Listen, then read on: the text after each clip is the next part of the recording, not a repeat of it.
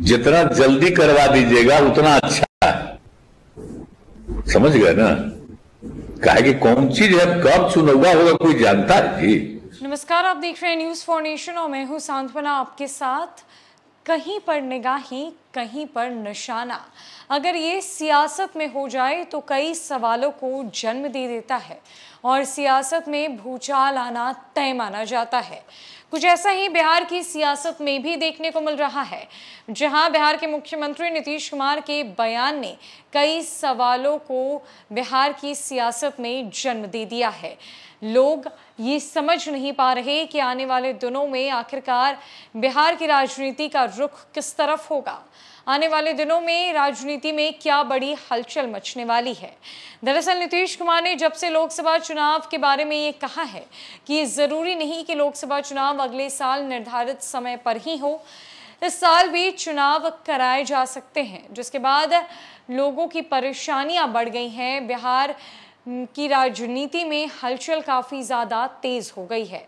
अब ऐसा माना जा रहा है कि मुख्यमंत्री Nitish Kumar mid term term चुनाव की तैयारी में है, जहाँ उनका निशाना लोकसभा चुनाव के साथ साथ विधानसभा चुनाव पर भी है, और ऐसा माना जा रहा है कि बिहार के सीएम अब विधानसभा चुनाव को लेकर भी मूड बनाते हुए नज़र आ रहे हैं।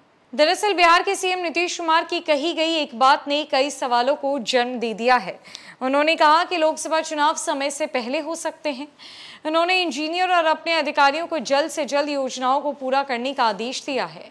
मुख्यमंत्री ने जैसे ही ये टिप्पणी की, इसको लेकर चर्चाओं का दौर शुरू हो गया है। माना जा रहा है कि सीएम नीतीश मध्यावधि चुनाव का मूड बना रहे हैं। अगर ऐसा होता है तो नीतीश कुमार और महागठबंधन के लिए बीजेपी से मुकाबले का बड़ा दाव होगा। देखा जाए तो लोकसभा चुनाव कराना नीतीश कुमार के अधिकार क्षेत्र से बाहर की बात है, लेकिन विधानसभा चुनाव उनके अधिकार क्षेत्र का मामला है।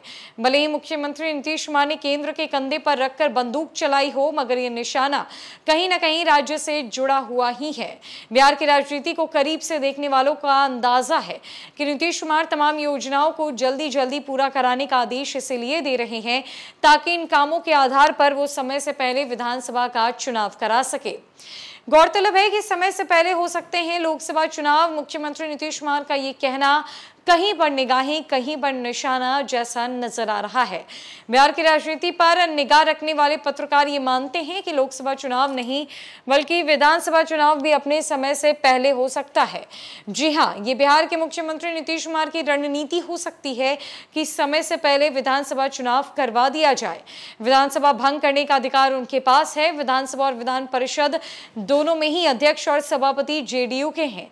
बिहार में शासन और सत्ता पर भी उन्हीं का कब्जा है और सबसे बड़ी बात बीजेपी अभी विधानसभा चुनाव को लेकर तैयारी में बिल्कुल भी नहीं है। कहते हैं, अपने दुश्मन पर तब हमला करना चाहिए जब वो या तो तैयार ना हो या उसकी तैयारी ना हो।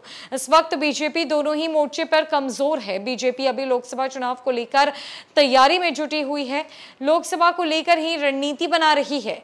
नेताओं के दौरे सेट कर रही है। कुल मिलाकर बीजेपी फ़िलहाल बिहार विधानसभा को लेकर जरा भी तैयार नहीं है।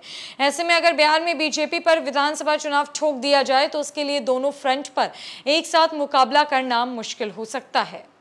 लोकसभा चुनाव में महज कुछ महीनों का वक्त बाकी रह गया है और बीजेपी की पूरी पैनी नज़र लोकसभा चुनाव पर है। ऐसे में अगर मुख्यमंत्री नीतीश कुमार ने बड़ा दांव खेलते हुए बिहार में पहले ही विधानसभा के चुनाव करा लिए तो इससे बीजेपी को बड़ा झटका लग सकता है और बीजेपी की तैयारी धरी की धरी रखी जा सकती है कि क्योंकि बीजेपी ने विधानसभा चुनाव को लेकर कोई तैयारी नहीं की है और आने वाला एक साल बीजेपी के लिए बेहद अहम माना जा रहा है।